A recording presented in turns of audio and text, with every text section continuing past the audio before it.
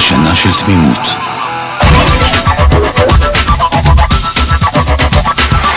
של אושר.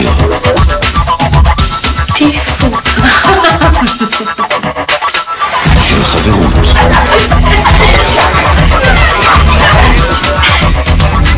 זאת הייתה השנה שבה הכל השתנה.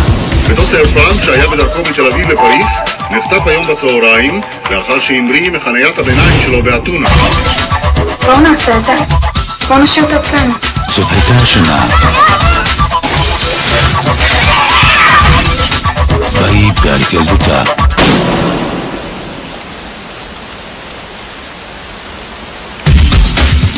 מיסנטדה, בקרוב.